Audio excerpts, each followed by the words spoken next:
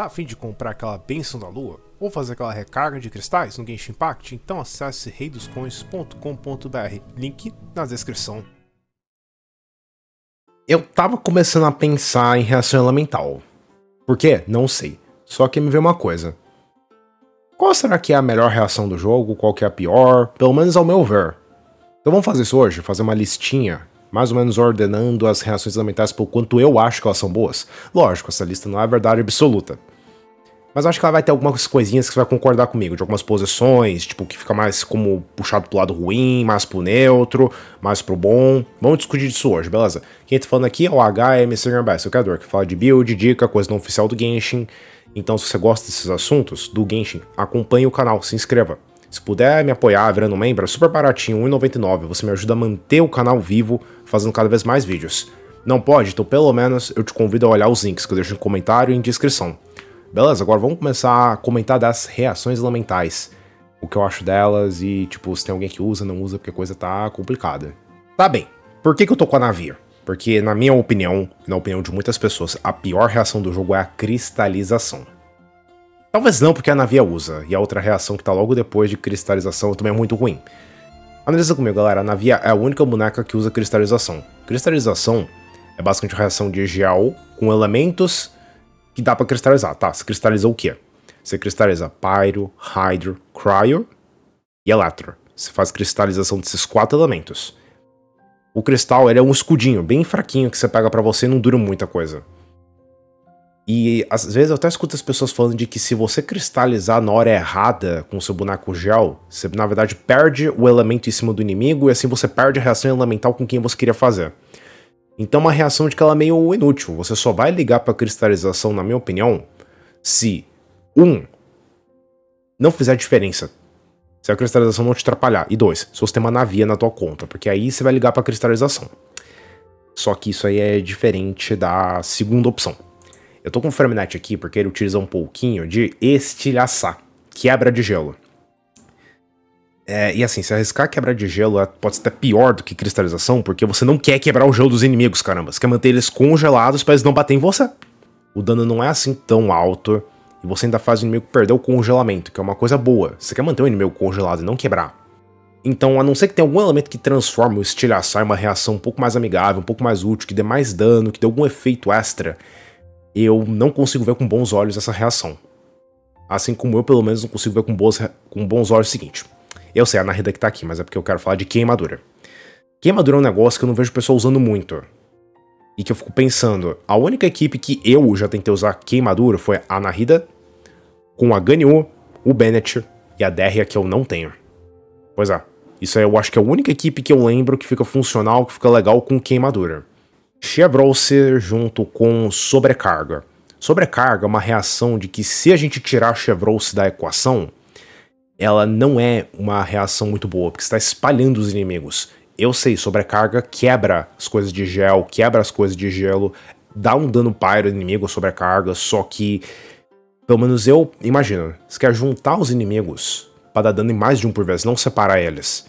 Tanto que não é à toa que você só vai falar de sobrecarga, na minha opinião, se você tiver uma Chevrolet na equipe, porque ela transforma uma reação que ela não é muito convidativa em alguma coisa que te traz benefícios. Benefícios esses que podem fazer valer a pena os malefícios, que é espalhar os inimigos. E assim, sobrecarga meio que estreia o que eu chamo de reação neutra. O que, que é neutro? Tem as ruins, que são aquelas três que eu falei, e tem as neutras, que é o pelotão do meio. Que são reações que, na minha opinião, não são assim tão ruins. Elas não cheiram nem fedem. Não cheiram nem fedem. Tem melhores e tem piores. Assim como a Chevrolet e as sobrecargas, nós temos a Nilo com os florescimentos. Florescimento, na minha opinião, é uma reação de que ela sozinha ela não faz muita coisa. É muito legal que você usa o florescimento para ativar outras reações. Você usa para ativar o superflorescimento, a germinação, que são reações boas, que eu vou comentar mais pra frente. Só que o florescimento por si só, ele não é muito legal. É uma reação que ela vai ficar lá, sem fazer nada, esperando. Esperando alguma coisa acontecer. Pode ser o tempo dela ficar lá em campo, terminar para estourar. Pode ser dar o limite de 5 unidades em campo para começar a estourar. Só que esse é o ponto, uma reação que ela por ela não faz nada. Tanto que se você quer lidar com florescimento, você tem que ter uma Nilo, que é o mais legal, ou ter um Cavé na equipe, para você poder bonificar, aumentar o dano do florescimento e estourar ele na hora que você quiser. Quiser entre aspas, porque com esses dois aí meio que fica automático estourar. Então essa é uma reação que ela não cheira nem fede, só que você tem que ter o amplificador dela, que no caso é a Nilou. Sabe os times de taser? Eles usam muito a reação de eletricamente carregado. Ela é das reações mais fortes do jogo. Só que o ponto dela é que ela gosta muito de usar quantidade. Como assim? Vários inimigos afetados por Hydro. Você bate com o Eletro, o Eletro se espalha entre eles, fazendo com que o eletricamente carregado passe por vários deles. Isso é um ponto interessante da reação. Também é muito interessante que ela consegue manter tanto o Eletro quanto o Hydro ativos no inimigo.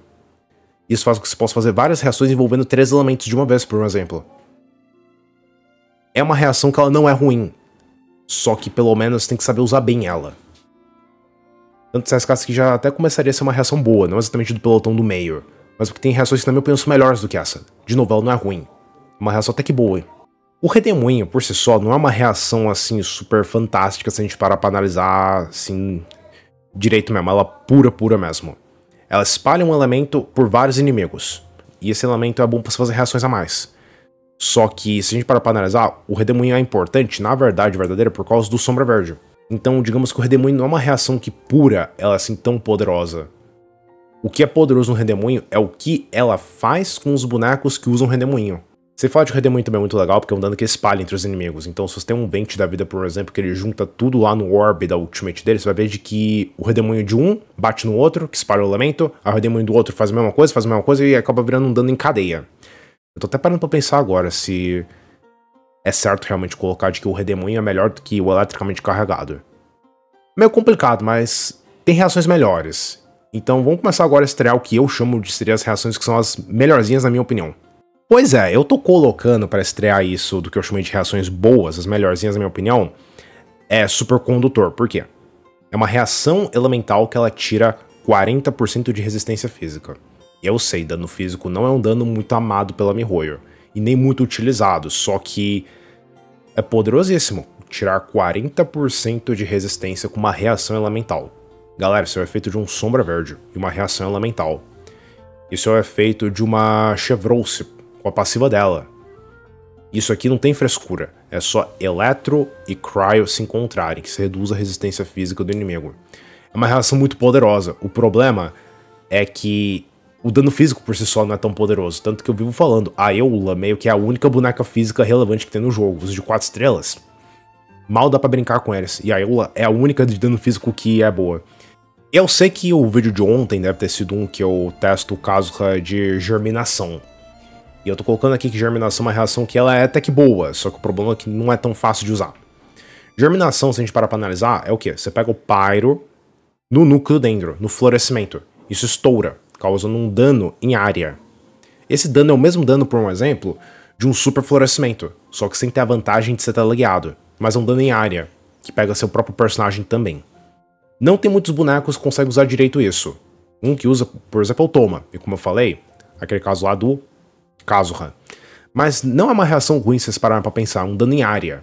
Você lembra do que eu falei da sobrecarga? Você quer juntar os inimigos para dar dano em área. Ah, então nesse caso essa reação é aquilo que eu falei.